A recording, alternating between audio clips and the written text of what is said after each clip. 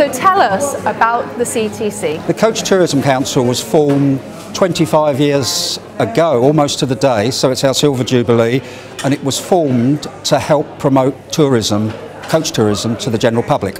You organise fam trips every year, so tell us a little bit more about those. Well, we believe fam trips are very important in the industry because it exposes our suppliers' products to the coach operators.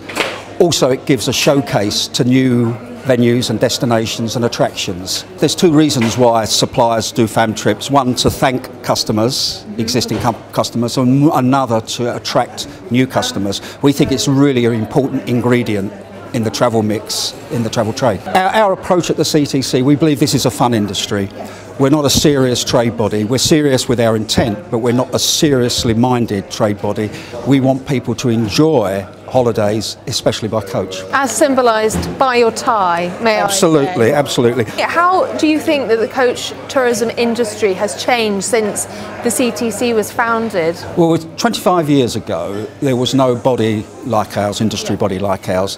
And so we've pulled together uh, probably 200 of the top coach tour operators into sort of a, sort of a club.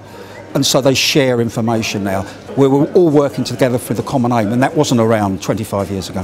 The coach that you went to swimming from school didn't have a toilet, no. didn't have reclining seats, didn't have a TV, didn't have tea and coffee making facilities.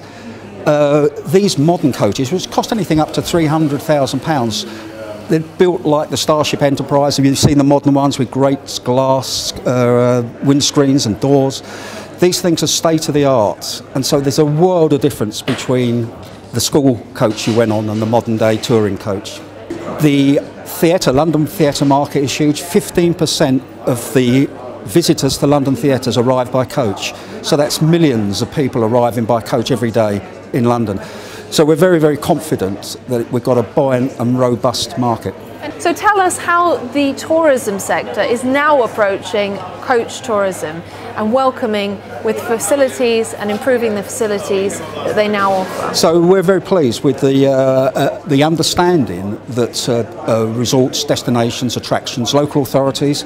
Uh, my colleague Paul Ovington has just been working with Visit England on a coach prospectus where we do best practice of how to look after coach business, coach traffic, coach passengers, coach drivers. And so we really feel that uh, the, the local authorities, the local tourist boards, the national tourist boards have really come to uh, appreciate what we do.